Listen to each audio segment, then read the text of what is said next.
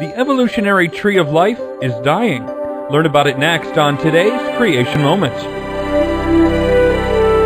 And now, here's our Creation Moments host, Ian Taylor. We are all familiar with the evolutionary tree of life. It is supposed to depict how life began as a single celled organism and over immense periods of time mutated into all the various forms of life we see today. We have offered several Creation Moments programs recently that explained how new genetic studies simply do not support this evolutionary tree.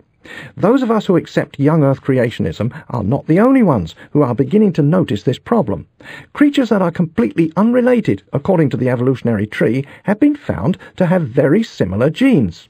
More often than not, DNA information disagrees with a creature's supposed lineage as it is presented on the evolutionary tree of life.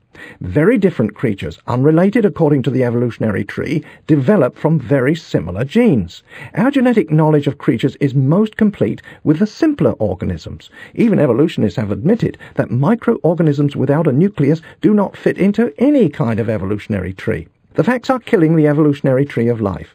Some evolutionists are admitting that the history of life cannot be represented as a tree. Some even ask whether the history of life can ever be known with any certainty.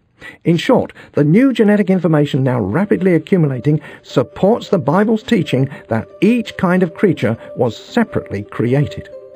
New genetic information shows that there are multiple trunks to the tree of life. We may be reminded, however, that the only real source of life is our risen Savior, Jesus Christ. To get a complete set of transcripts from Creation Moments programs, ask about the book Letting God Create Your Day when you visit us online at creationmoments.com and join us again for another Creation Moments, proclaiming evidence of God's truth.